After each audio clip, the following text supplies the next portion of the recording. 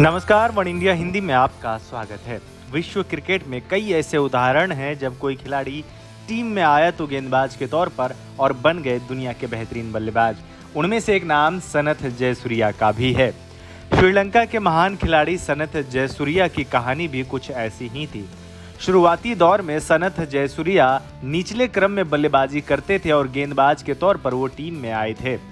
मगर एक विश्व कप ने उनकी ज़िंदगी बदल दी। उन्नीस विश्व कप सनत जयसूर्या की ज़िंदगी का सबसे बड़ा टर्निंग पॉइंट रहा। लेकिन विश्व कप पर जाने से पहले आपको थोड़ा पीछे की जानकारी दे देते हैं। जयसूर्या ने उन्नीस में एमसीजी में ऑस्ट्रेलिया के खिलाफ डेब्यू किया था। वो पाँचवें नंबर पर बल्लेबाजी करने उतरे और महज तीन रन बनाकर आउट हो गए।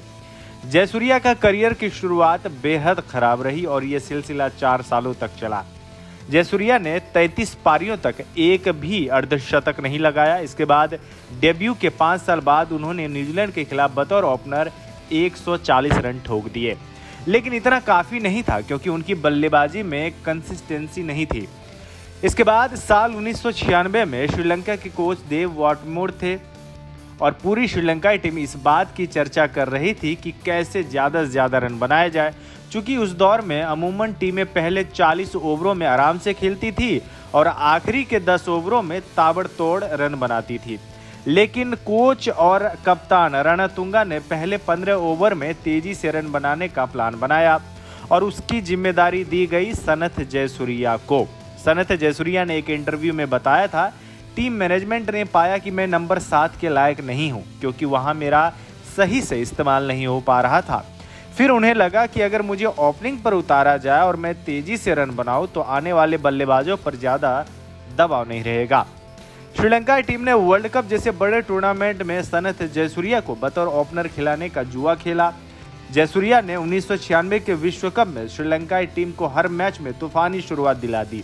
पहले पंद्रह ओवर में जयसूर्या और कालू वितरना मिलकर गेंदबाजों पर टूट पड़ते थे और विरोधी टीम बैकफुट पर आ जाती थी। नतीजा ये हुआ कि श्रीलंकाई टीम वर्ल्ड कप उन्नीस सौ छियानवे में एक भी मैच नहीं हारी और आखिरकार में उन्होंने खिताब भी अपने नाम कर लिया। आपको बता दें, उस साल उस विश्व कप में जयसूर्या ने 221 रन बनाए थे और छह विकेट अपने नाम किए थे, जबकि सात कैच भी उन्होंने लपके और उन्हें प्लेयर ऑफ़ द टूर्नामेंट का अवार्ड भी मिला। तो ये थी जयसूर्या की कहानी। आपको ये वीडियो कैसा लगा, आप हमें नीचे कमेंट बॉक्स में ज़रूर बताएँ। साथ ही हमारे one India Hindi YouTube channel को सब्सक्राइब करना ना भूलें।